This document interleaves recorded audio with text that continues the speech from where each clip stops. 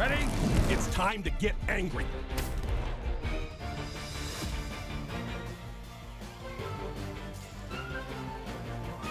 It is the greatest honor in the world to be where so many film lovers gather.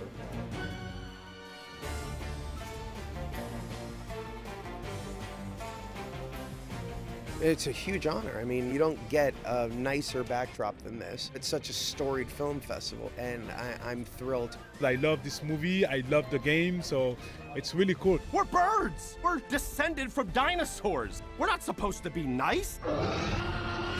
Holy moly! Yeah, point made. The characters are so rich. The story answers this question that all of us who have played the game have never even stopped to ask why are the birds so angry? Drop your nuts and move your butts! We're gonna get those eggs back. It was so much fun because it was something completely different that was very enjoyable to do. So for me, great experience. For the first time, I could be like angry and I could have like a really bad, bad attitude. So it's, it's really cool. It's a dream that becomes true for me. I'm so excited. This is the most incredible work that I've done. It's subversive, but it's also got enormous heart. How was it written?